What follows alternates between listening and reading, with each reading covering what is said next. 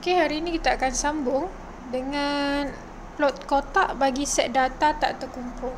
Sebelum kita teruskan, sebelum kita belajar ni kita ada belajar uh, sistem piawai dengan variance. So hari ini kita belajar plot kotak pula. Apa tu plot kotak? Plot, plot kotak itu adalah satu cara mempamerkan taburan bagi suatu set data berdasarkan lima nilai iaitu ada lima eh. Yang pertama nilai minimum kuartil pertama kemudian median kuartil ketiga dan nilai maksimum untuk dalam plot kotak ni. So plot kotak dapat menunjukkan sama ada suatu set data adalah simetri pada median ataupun tidak Plot kotak juga digunakan untuk membuat analisis dengan bilangan data yang banyak. So, kalau data dia banyak, sesuai kita buatkan plot kotak. Okey, seterusnya.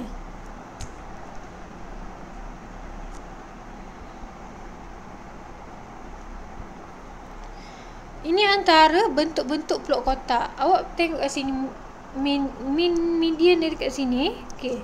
Kalau kita tengok bentuk yang pertama dia punya plot kotak tu simetri maksudnya dia sama kan sebelah kanan dia dengan sebelah kiri dia. Sama lebih kurang. Tapi kalau kita tengok bentuk yang kedua dekat dia punya median ni dia lebih kepada kuartil yang pertama berdekatan dengan kuartil pertama. Ini pula berdekatan pada kuartil yang ketiga. Ini antara bentuk-bentuk plot kotak yang kita bakal jumpa lah bila kita buatkan plot kotak ni. Okey, seterusnya kita tengok macam mana plot kotak ini dibina. So, cikgu akan buat plot kotak. Cikgu akan tukar dulu. Eh, sorry. Cikgu akan tukar dulu layout dia jadi kotak yang kecil supaya senang cikgu nak lukis guna sama macam tu ok so sekarang ni dia kata dat plot kotak akan dibina di atas garis nombor. Dan data di bawah menunjukkan markah yang diperoleh oleh 15 orang dalam suatu ujian masa Cina. Ok sekarang cikgu buatkan dalam plot kotak di sebelah sini lah. Okey, sebelum kita nak buat plot kotak, kita kena pastikan data yang kita ada tersusun secara menaik. So, kita tengok kat sini, dia memang dah tersusun secara menaik. Kemudian kita kena pastikan lima data yang tadi. Yang pertama, kita kena tengok nilai minimum dia. Tengok. Nilai minimum dia adalah 35. Okey, kita dah letak 35. Kemudian nilai maksimum dia 75. Okey, kita dah letak 75 dekat sini. Kemudian kuartil pertama. Okey, untuk dapatkan kuartil pertama, ingat kita kena cari median dulu. So kita kena kira lah kat sini. Tengok data yang di tengah-tengah. 1 2 3 4 5 6 7 8 9 10 11 12 13 14 15. So maknanya data yang ke-8 adalah yang di tengah-tengah lah. 2, 4, 6, 8 So kat sini lah 57 ni yang ke tengah-tengah dia punya M. So kat sini adalah 57 Kemudian kat tengah-tengah di antara median dengan nilai minimum ni Dia adalah kuartil yang pertama. 1, 2, eh tadi sini 8 kan? So maksudnya antara sinilah ha. Jadi ini apabila ditambah dan dibahagi 2 jadi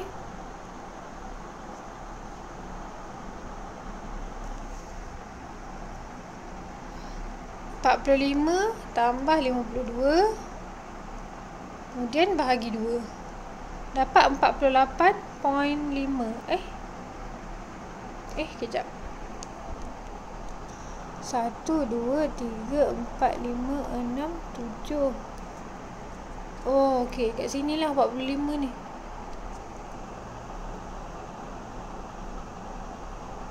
hmm Satu, dua, tiga, empat, lima, enam, tujuh. Okey, nombor empat lah. Satu, dua, tiga, empat, lima, enam, tujuh. So dekat sini. Enam puluh lapan. Okey, kemudian dah sudah. Apa kita buat? Kita buatkan dia punya plot kotak. So plot kotak ni ikutlah awak nak buat lima-lima ke, tiga-tiga ke, dua-dua ke. Yang penting, mesti dia punya sekata. Okay, so kita akan buat kita punya garisan kita.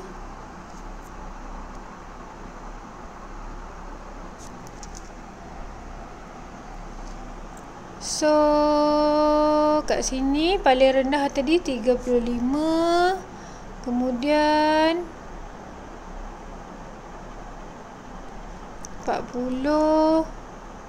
Kemudian 45 lima puluh lima lima enam puluh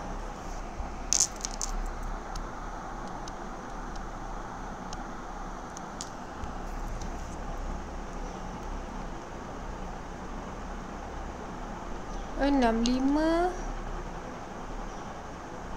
tujuh puluh. Oh, boleh tinggi tujuh puluh lima. 75 ini adalah markah. So barulah kita plotkan titik kita. Berapa tadi? Um, nilai minimum kita 35 so kita plot dekat sini. Kemudian 45 kemudian uh, 57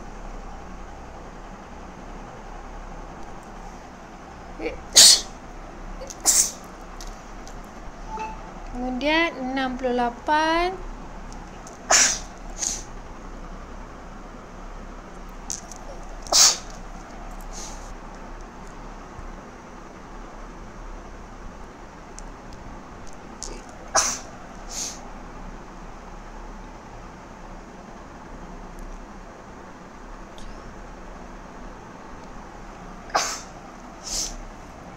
tujuh puluh lima.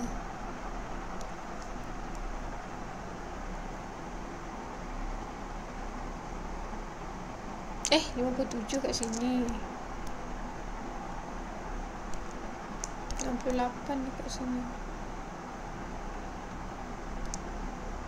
Okay So, kita buatlah garisan kita ni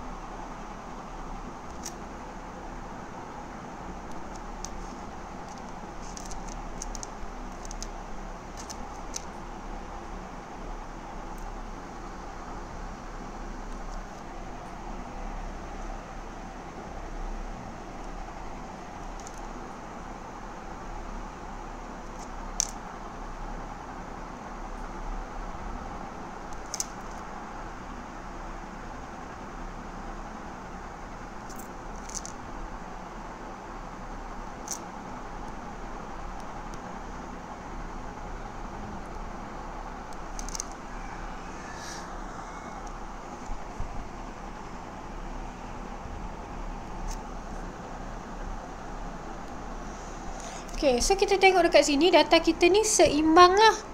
Ha, sebab kalau kita tengok kotak tu sebelah kanan sama besar dengan sebelah kiri. Yang berada di sebelah kanan ni sama besar dengan yang berada di sebelah kiri. Ha, inilah cara macam mana kita nak buat plot kotak. Ha, sampai sini jelas tak?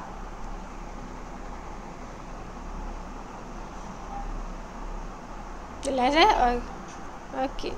So, uh, kita tengok pula soalan, contoh soalan ini, contoh 12. Diberi dua plot kotak. Okay, dua, dua plot kotak. Bagi setiap plot kotak, nyatakan yang pertama median. Okay. Kita tengok daripada soalan A. Ha, cikgu nak ubah balik lah layout ni. Cikgu nak bagi dia. Okay. So, soalan A. uh, median yang soalan pertama. Apakah jawapan bagi median dia? Cikgu nak tanya Aina Balkis, Aina Balkis. Median untuk A tu. Apa jawapan untuk median dia? Um,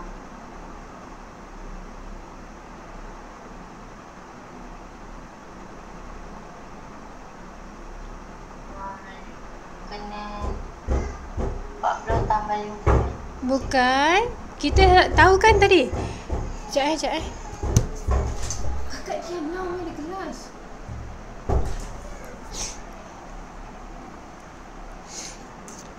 Uh, Okey, yang untuk A tu tadi kita tahu peluk kotak ni dia hanya ada lima maklumat sahaja.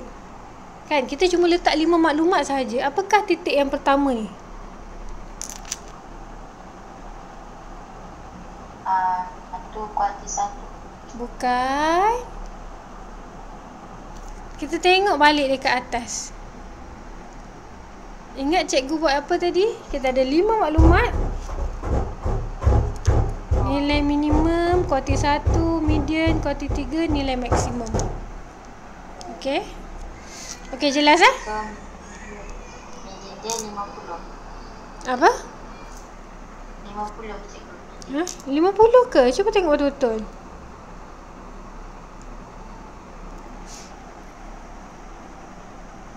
Betul ke lima puluh ke? Lima puluh tu kat sini tau. Berapa nilai dia? 52. Ah, 52. Okey, yang kedua dia minta apa? Kuartil pertama. Ah, berapa jawapan kuartil pertama awak? Uh, 34. 34 ke sini sayang. Eh. 35. Hmm, 35. Yang ketiga dia minta kuartil yang ketiga. Berapa jawapan awak?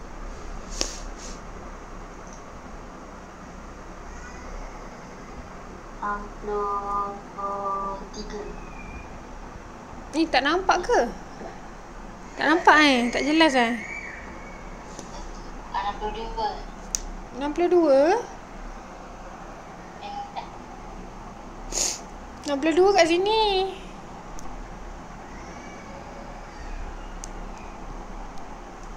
Berapa tu? Ni 62, 64, 66, 68, 70. Berapa jawapan dia?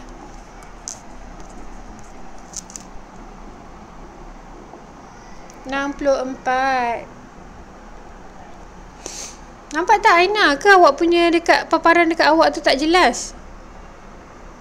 Nampak cikgu nampak. Nampak eh? Okey. Nombor empat, julat antara kuartil. Apa formula julat antara kuartil?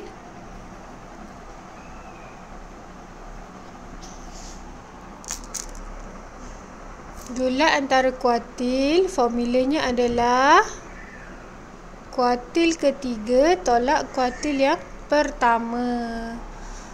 Jadi jawapan kita dah dapat tadi kuartil ketiga kan? 64 tolak dengan 35. Dapatlah jawapan 29. Eh, 29 pula. Ha, betul lah, 29.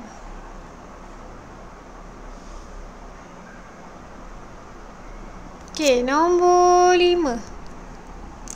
Nilai minimum, berapa nilai minimum dia? Um, nilai dia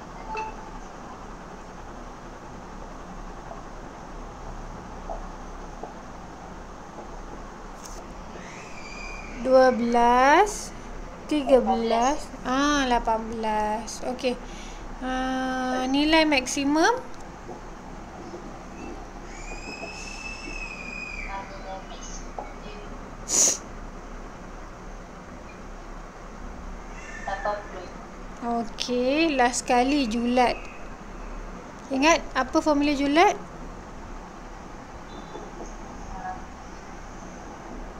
Uh, kecil tolak nilai besar tolak nilai kecil. Yang paling besar tolak yang paling kecil. Jadi berapa?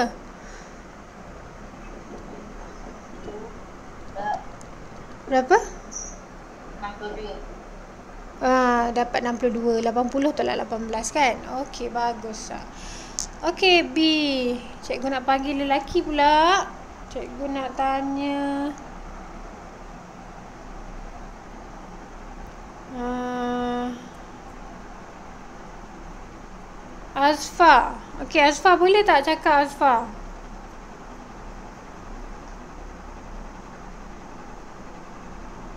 Boleh eh? Okey, kuat sikit Azfa boleh?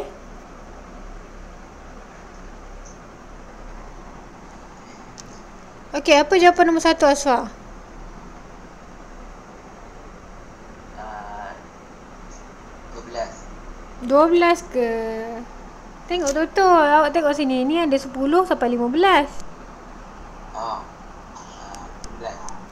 Ah, Uh, 11. 11. Nombor 2. Kuartil pertama dia? 5.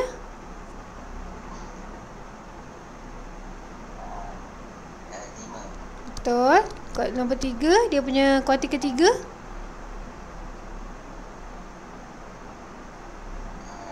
21. Bagus. Yang keempat? Jumlah antara kuartil?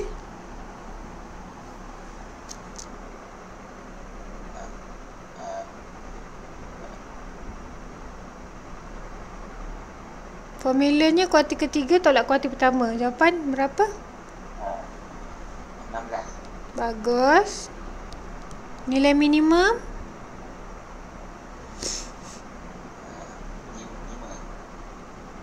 5. Ah, lima. Paling hujung dia, paling hujung. Kosong. Kosong. Nilai maksimum? 35. Bagus. Julat?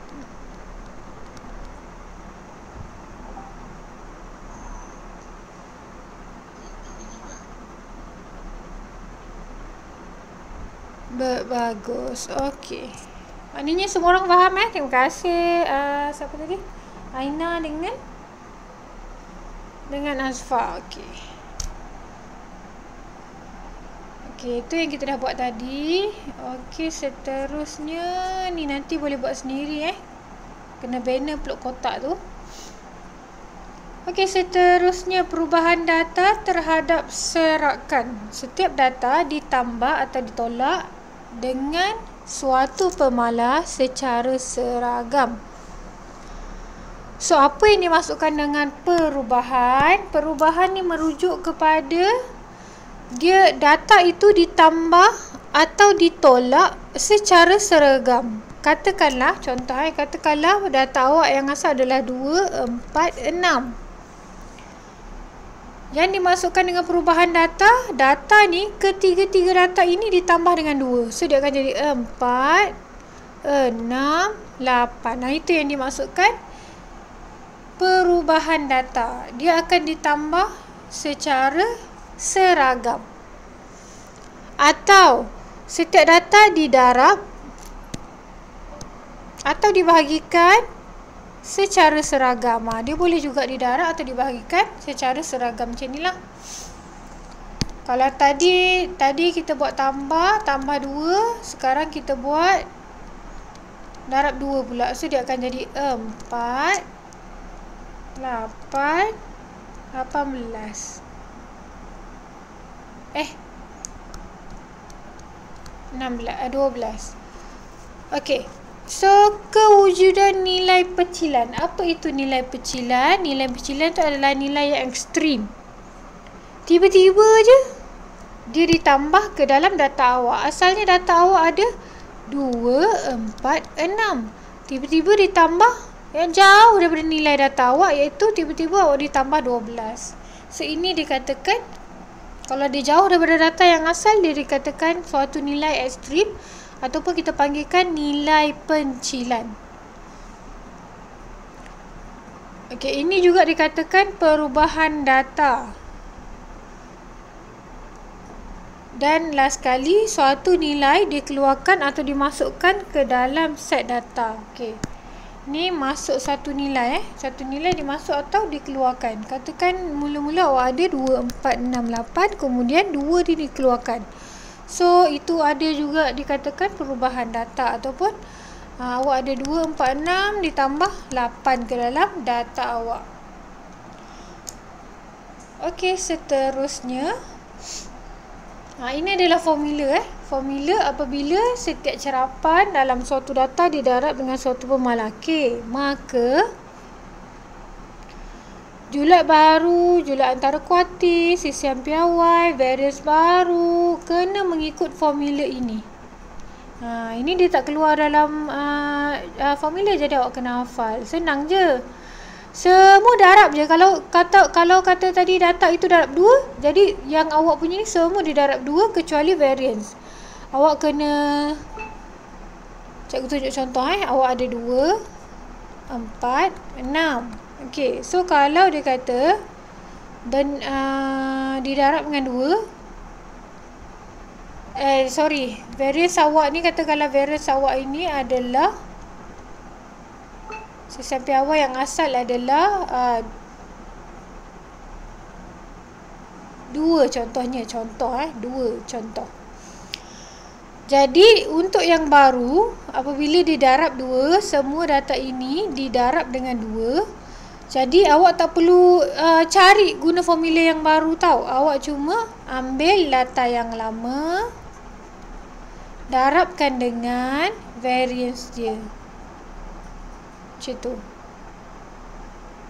Variance sorry. Data variance variance pula. Sistem piawai yang lama didarab dengan pemalah yang didarabkan dengan data awak. Ni kan data awak darab dua tadi kan? So awak perlu darab dua juga. Variance yang awak ada pun kena darab dua juga. Macam tu. Cikgu ulang semula. Kalau ada ada julat eh? Julat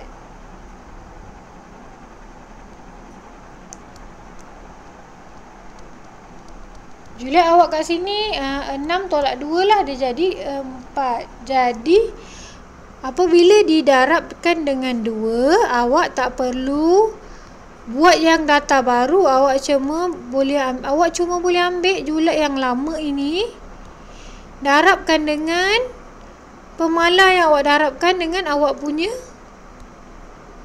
data. Darab dengan 2. So Juliet yang baru adalah 8. Kalau tak percaya cuba kita buat eh. Cikgu buat baru eh. 2 darab 2 4. 4 darab 2 8. 6 darab 2 12.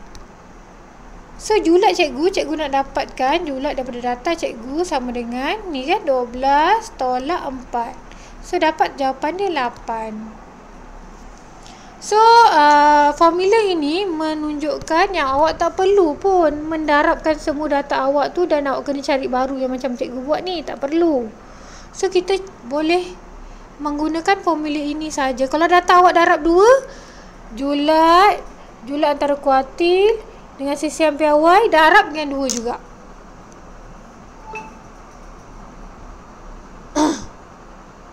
Cuma berbeza pada variance baharu. Variance baru Katakan variance awak adalah empat tadi eh. Empat eh untuk yang asal. Ni yang asal tau. So, awak punya variance kat sini. Ambil yang lama punya. Empat. Darab dengan yang perkali kat sini tadi dua. Dua kan? Dua itu dikuasakan dua. So, dia dapat jawapan 16 Jelas tak?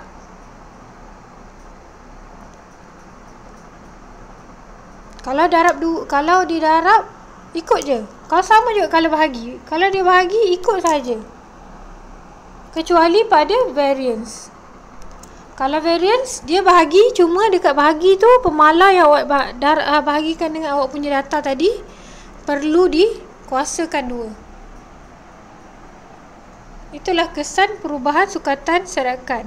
Apabila suatu nilai itu didarab atau dibahagikan dengan suatu pemalang. Apa pula jadi kalau data itu ditambah? Contoh eh. 2, 4, 6 kemudian ditambah 2. Semua setiap satu ni ditambah dengan 2. Tidak berlaku apa-apa perubahan eh. Tambah atau tolak tidak akan memberi kesan kepada keempat-empat ni tadi. Tak ada beri kesan pada dia. Tambah atau tolak. So nak lebih jelas kita pergi merujuk kepada uh, ayat dekat bawah ni cikgu dah terangkan tadi. Ayat secara uh, secara ayat dia lah. Okey, julat julat akan berubah apabila suatu uh, pencilan yang ni dia cakap pasal pencilan pula. Julat akan berubah secara mendadak apabila suatu pencilan dikeluarkan atau dimasukkan. Julat antara kuatil kurang dipengaruhi apabila suatu pencilan ditambah atau dikeluarkan. So mungkin julat antara kuatil tak terjejas lah. Manakala variance dan sistem piawai akan bertambah dengan banyak apabila pencilan ditambah ke dalam set data.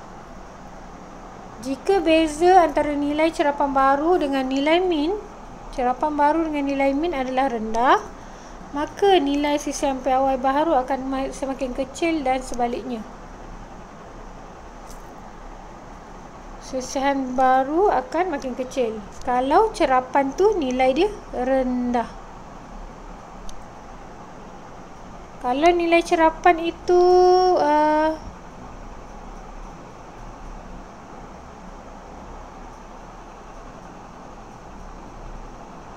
Jika beza nilai cerapan baru dengan nilai min adalah rendah, maka nilai sistem piawai baru akan lebih kecil. Ni salah eh ni. Ayat-ayat kat sini ni. Bukan rendah ni. Ini adalah tinggi. Maka nilai sistem piawai akan semakin besar dan sebaliknya.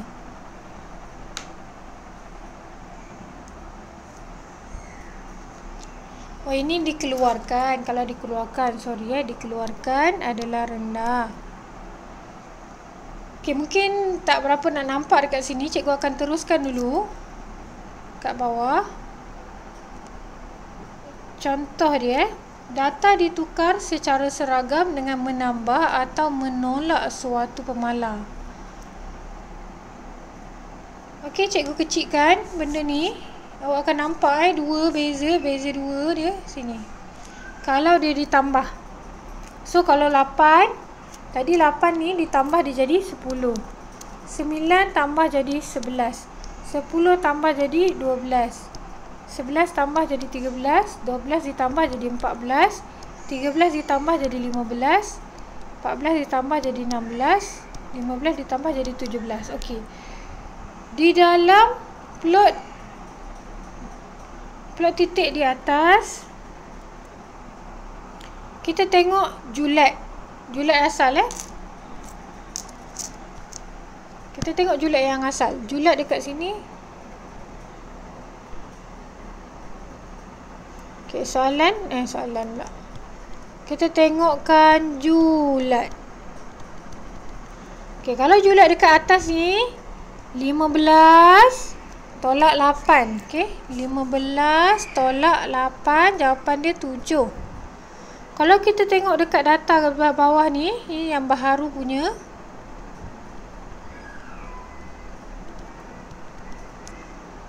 Tujuh belas tolak dengan sepuluh. Bermakna apa balik apabila uh, data awak ditambah atau ditolak? Tak akan memberi kesan kepada julat kerana kedua-dua set data lama dan baru dia sama. Jelas tak? So kita dia dia akan dia tidak akan mempengaruhi tambah atau tolak ni kepada empat tadi. Yang pertama julat yang kedua julat antara kuartil, yang ketiga sisian piawai, yang keempat variance. So empat ni tidak akan memberi kesan. Tambah awak tambah atau tolak kepada awak punya data tadi keempat-empat ni tidak akan terkesan. Kalau julat lama tujuh, baru pun tujuh juga. Kalau sesiam piawai lama dia, dua, yang baru pun dua juga. Contohnya macam tu. Sampai sini jelas tak? Untuk tambah dan tolak.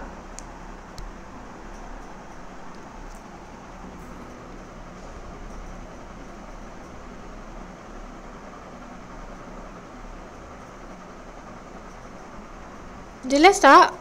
Ataupun awak ada soalan nak tanya?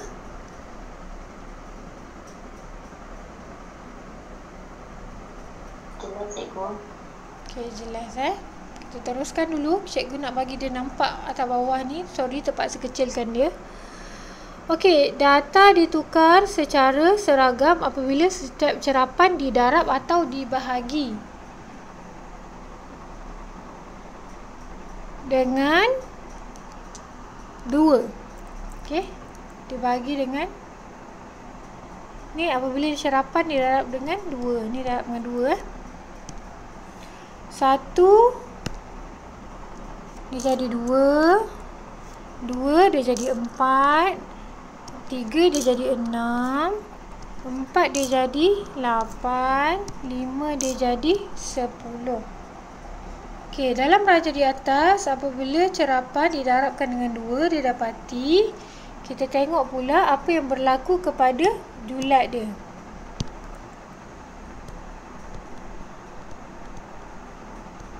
Julat yang asal. Asalnya 5.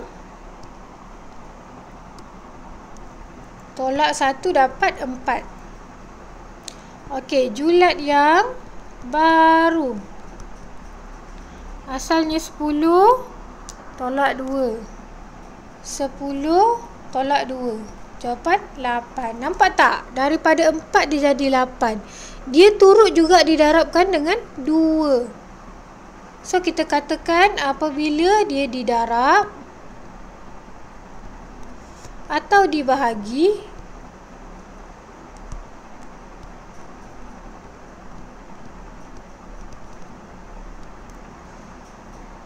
ini keempat-empat ni turut terkesan. So apa tadi? Julat Julat antara kuatil Sisian pawai Variance kuasa 2 So kalau julat Kalau julat dia tadi 7 Eh 7 pula. Kalau julat dia tadi 4 Data awak didarab dengan 2 Dia pun akan didarabkan dengan 2 So julat baru akan jadi 2, 4, uh, 8 Sama juga julat antara kuatil. So julat antara kuatil katakanlah jumlah antara kuartil dia 5 nanti jumlah antara kuartil yang baru turut didarab dengan 2 jadi 10 katakanlah sesiap pawai sini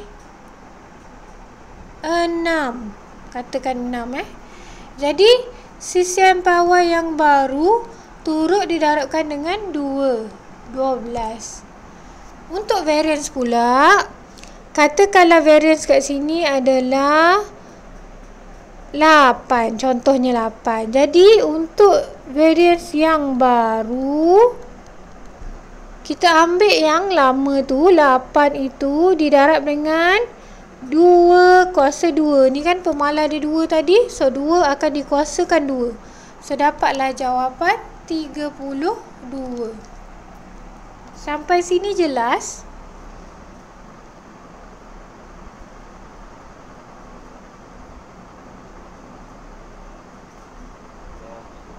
Okay, jelas eh? Okey, kita tengok pula pencilan. Suatu nilai dimasukkan atau dikeluarkan merupakan pencilan. Okey, ini sekarang ni asalnya data kita macam ni. Kita tengok, kita tengok julat dia. Kita tengok julat. Julat dekat sini 5 tolak 1 5 tolak 1 dia jadi 4.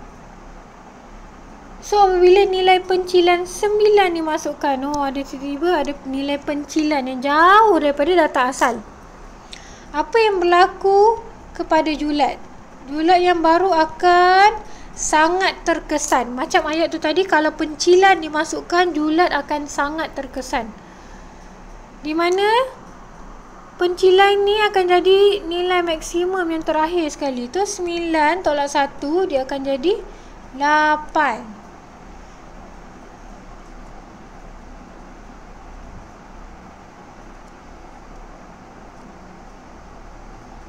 Jadi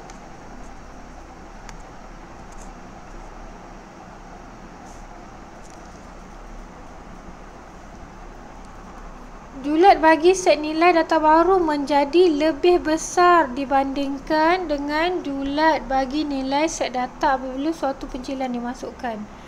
Dan dia punya dia punya set data ni akan jadi lebih lebar. Serakan dia menjadi lebih lebar.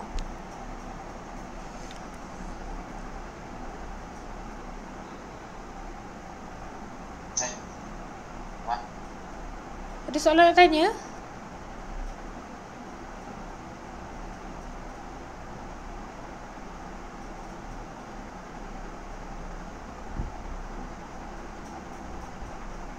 Okey, kalau tak ada, kita tengok contoh 13 eh. Diberi set data 4, 6, 7, 7, 9, 11, 12, 12. Hitung sisian piawai bagi set data ini. Seterusnya, hitung nilai sisian piawai baharu apabila 4 dikeluarkan. Okey, so 4 dikeluarkan.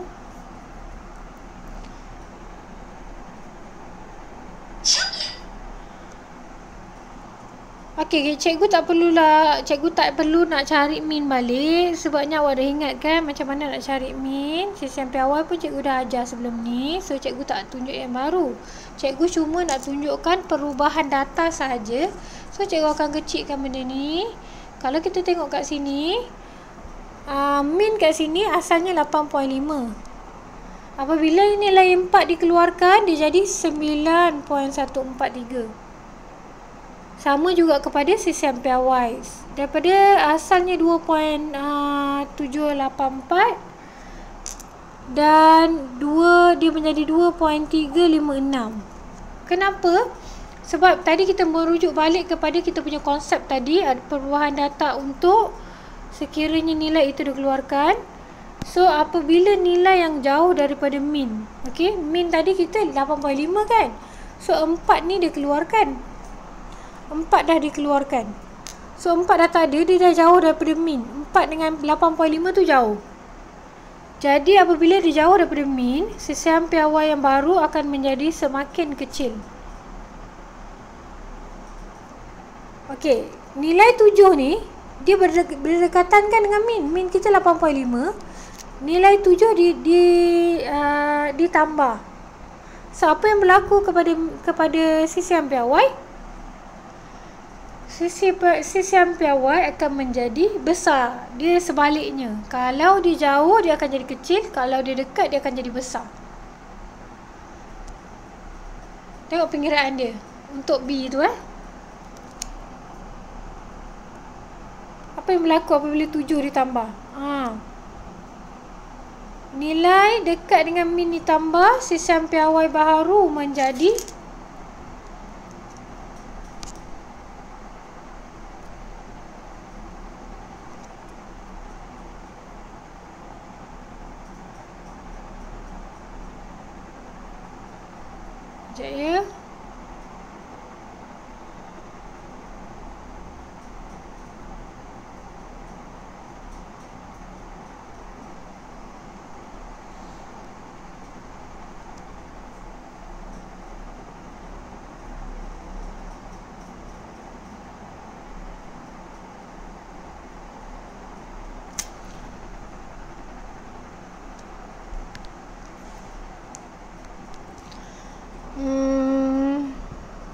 daripada asal 2.7 dia jadi 2.356 so kalau kecil ditambah oh tadi dikeluarkan nah ni ditambah so dia akan menjadi kecil Ada beza eh soalan ni. Soalan ni dia buang tadi. Ini dikeluarkan. Dikeluarkan. Kalau dia nilai jauh dari min. Jauh ni keluar eh. Dia keluarkan data. Keluar data. So kalau jauh. Min dia kurang. Sesampai Y kurang. Manakala soalan B dia dia tambah 7 tadi.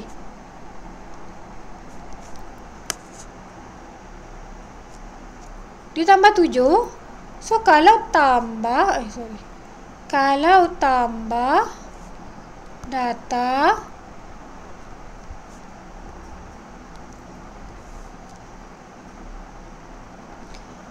Kalau dia dekat dengan min dia tambah tujuh. Min kita tadi ingat eh. Min kita tadi min asal.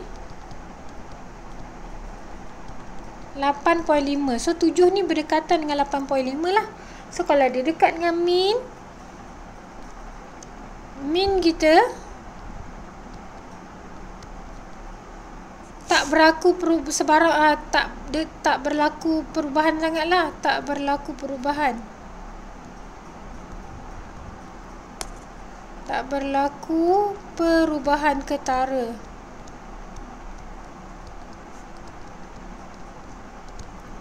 Tapi kalau kita punya sisihan, kita tengok sisihan kita dekat sini, menjadi kecil.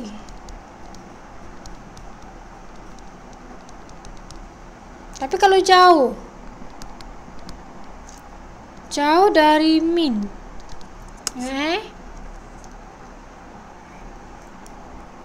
Dia tambah nilai berapa ni dia tambah? Dia tambah nilai 18. Dia tambah 18. So, apabila dia tambah nilai 18,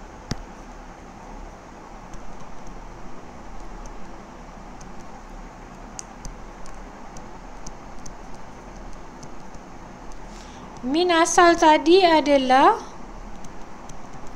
8.5 So 18 ni sangat jauh daripada min. So bila dia jauh daripada min Min Tengok eh tak ber, Perubahan dia tak ber, tak begitu ketara lah. Tapi um, dia uh, still berubah Tapi disebabkan dia sangat jauh So min akan berubah Min berubah Sisihan piawai semakin besar.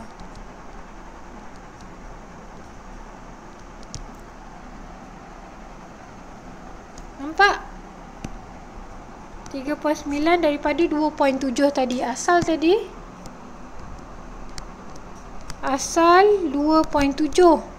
Dia jadi 3.9. So, itulah yang dikatakan sebagai perubahan data. So kalau kita nak tahu kita boleh kira lah. So kita boleh buat kesimpulan kita sendiri.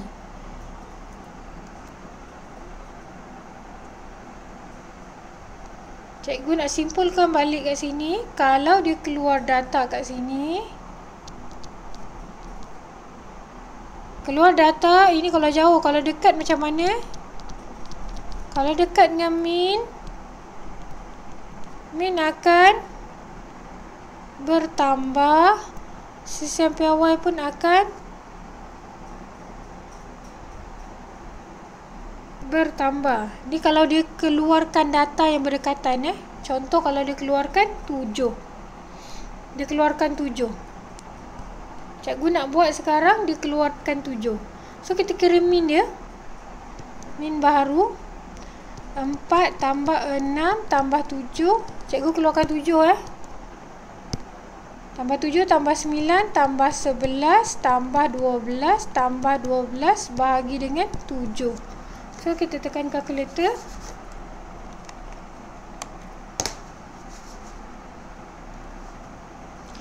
Empat Empat tambah Tambah enam Tambah tujuh Tambah sembilan Tambah sebelas Tambah dua belas tambah 12. Bahagi dengan 7. Nampak?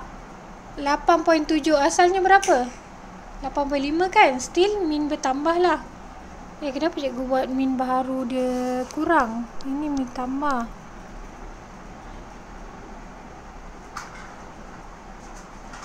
Min still bertambah. Kita tengok pada sesiam piawai pula. Sesiam piawai yang baru.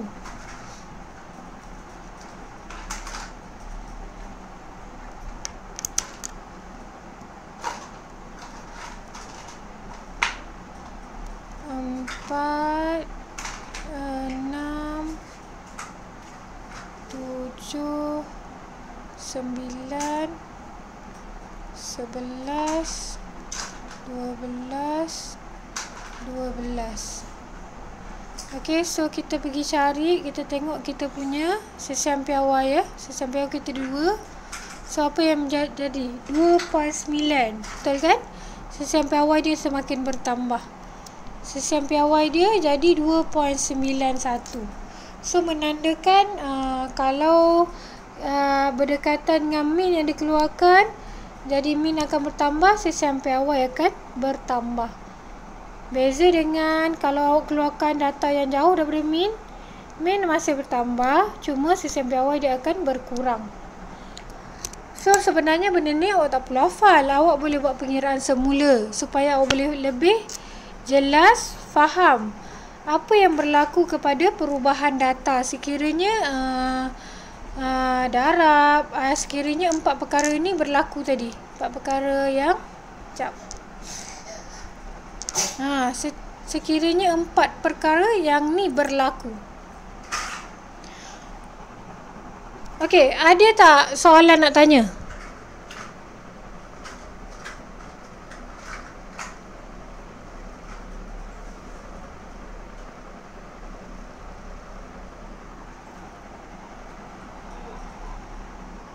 Tak ada.